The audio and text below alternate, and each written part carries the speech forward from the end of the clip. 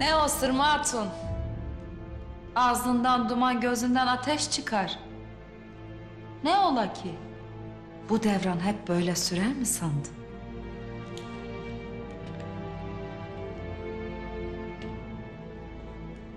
Ertuğrul Bey yaptıklarına son vermezse... ...ağabeyim bu ettiklerinizi yanınıza komaz Selcan Hatun. He, bu işler şomazdan çıkan Murat'la olaydı. Cihan zalimlere, densizlere mülk olurdu. Alınacak nökerleriyle dönünce... ...bunun bedelini çok acı ödetir. Bilesin Selcan Hatun. O vakit cihanda, mülkte... ...kime olur, kime olmaz görürsün. Vah vah. Kaç keredir dedim Moğol'a sırtını dayayıp beylik taslama değiyor.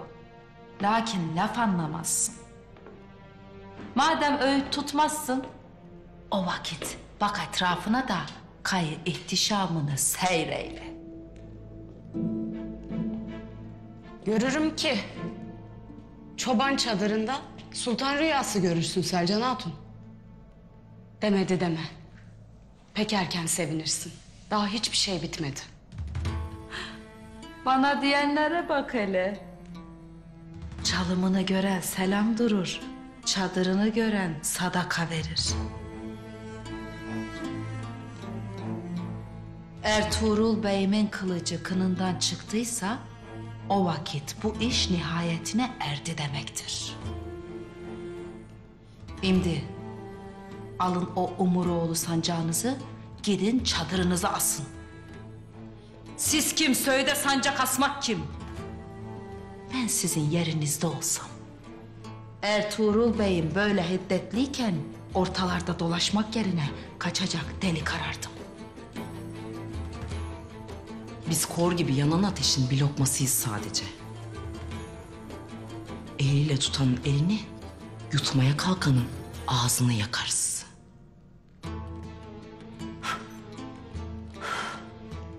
Aha biz de intikam aşını böyle soğutup yeriz Sırma Hatun.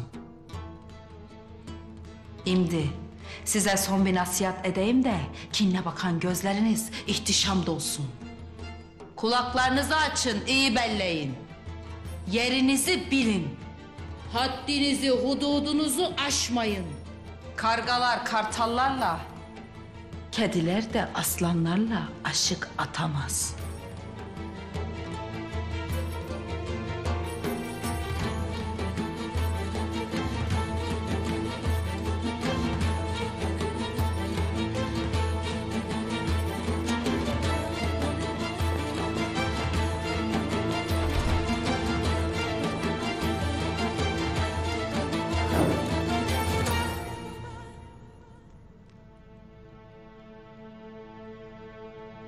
Çok şükür.